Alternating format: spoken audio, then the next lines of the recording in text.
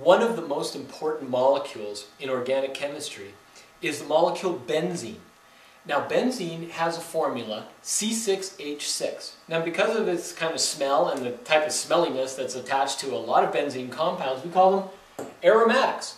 Now aromatics have as that constituent, as that main molecule, that benzene ring, C6H6. Now when you put it together, what does it actually look like? Well, C6H6 could only be done in this fashion, where you have alternating double bonds inside of a ring of six. So there's one, two, three, four, five, six carbons in the ring, and every one of these points would have a hydrogen coming off, because they're carbons, and that makes up the one, two, three, four bonds for every one of those carbons. So now, what would that actually be called? Well, it would be a one, three, five, right? Because it's going to be three. So that's three ene, so it's a triene, and it's going to be a 135 triene, and so it's going to be a cyclo 135 tri. See, it's a really complicated name. So therefore, we just call it benzene. So, it's going to actually have as a resonance structure, instead of the 135, it's going to have 246. So therefore, do you actually have to draw the resonance structure or the structure that exhibits Zwischenstufe in the German? This is what uh, uh, resonance is, yeah? No, you don't have to actually draw that all the time. Scientists just say, man, we, we don't even want to draw this, all these alternating bonds all the time. We don't even want to do that. And we don't want to draw the points on it either to indicate where the hydrogens are. All we want to do is draw a circle in the middle and that indicates benzene. That's great. That's easy.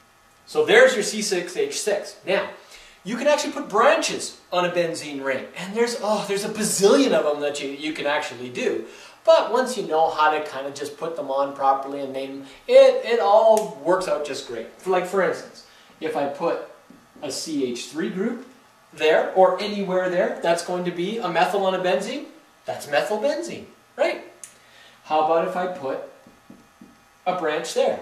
Well, that's going to be two methyls, dimethyl on a benzene, dimethylbenzene. By the way, that's also called O-dimethylbenzene. The O stands for ortho, and it's the one-two position. There are three of them that you have to know for organic chemistry for benzene rings that are called di-substituted. There's two substitutions on it. This is the O position like, uh, well, ortho, like as an orthodontist. Like he, orthodontist will make your teeth closer together, close together, like the one-two position, right? I try. Okay, so what else would there be? Well, you could have the one-two position, and then you could put a group, but that, I'll put a different group on here. I'll put this on there.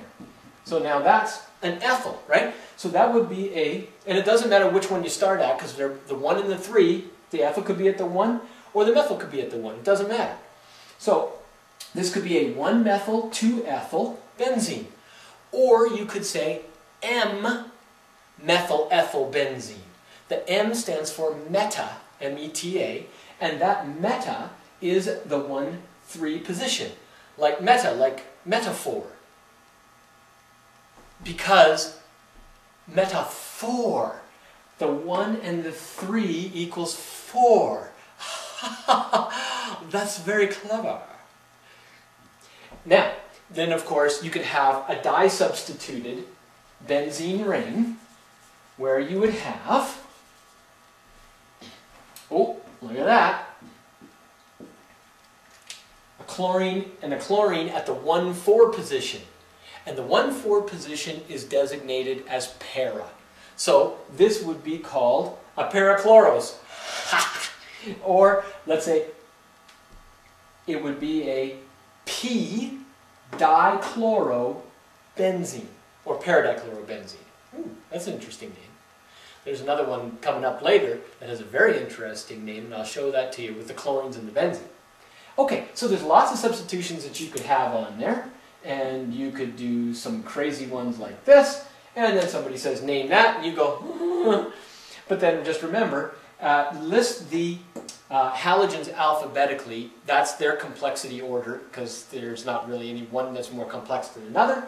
And you would name something like that, since it's one, two, three, four, I would say that you would have a 1,4 dichloro, but you're going to have before that uh, bromo at the 2, uh, 2 bromo, and then you're going to have a 3 fluorobenzene because alphabetically B then C, not the D, B then C then F.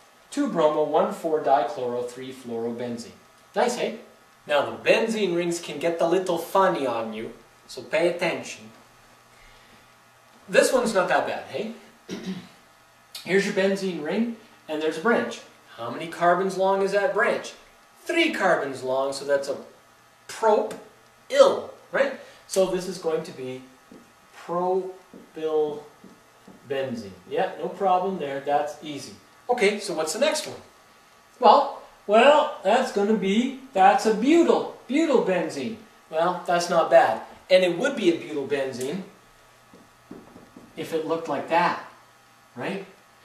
But the looks like now, you see, this is what it looks like to me.